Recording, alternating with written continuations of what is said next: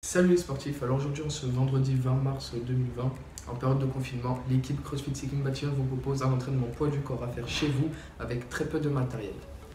Ceci s'accompagnera d'un renforcement dos et d'un échauffement Tabata qu'Alessandro va vous présenter tout de suite.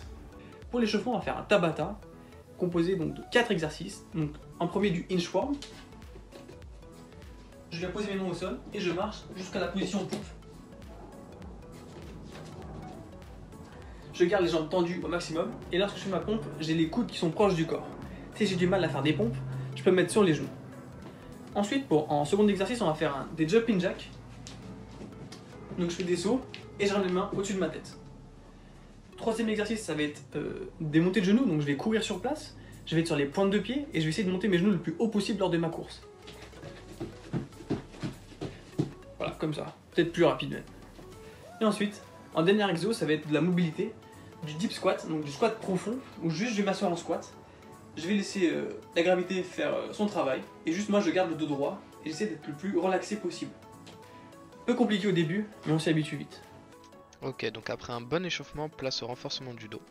Je viens m'allonger au sol, je décolle les cuisses et la poitrine, le poids sur le nombril, je serre fort les fesses, je me munis d'un élastique que je viens garder en tension tout le long du mouvement, et j'effectue un tirage nuque en serrant bien fort les omoplates. L'exercice peut bien sûr se faire avec une serviette.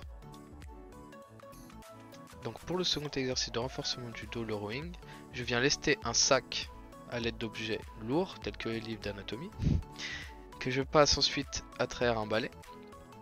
Je penche mon buste à 45 degrés. Je garde un alignement du dos de la colonne vertébrale en sortant bien le buste, en regardant le sol. Et je viens effectuer une adduction des omoplates contrôlée.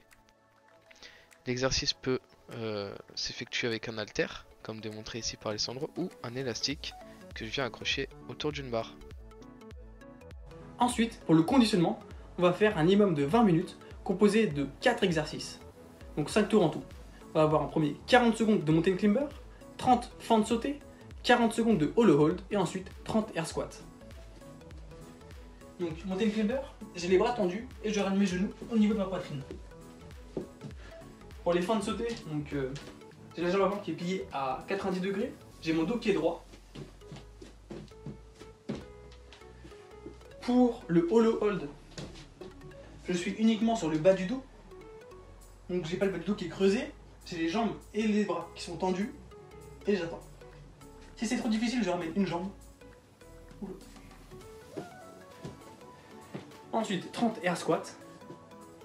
J'ai le poids dans les talons, j'ai le dos qui est droit et j'ai les genoux qui, sont, vont vers l'extérieur. Bon courage à tous, ça va piquer. Ok, donc cet entraînement touche à sa fin, j'espère qu'il vous aura plu. Suite à la demande de certains d'entre vous, nous n'avons pas intégré volontairement de burpees à cet entraînement. Euh, N'oubliez pas que sont disponibles dans la description deux liens YouTube euh, vers des vidéos musique séquencées exprès pour le Tabata, donc pour l'échauffement. Euh, encore une fois, j'espère que cet entraînement vous a plu.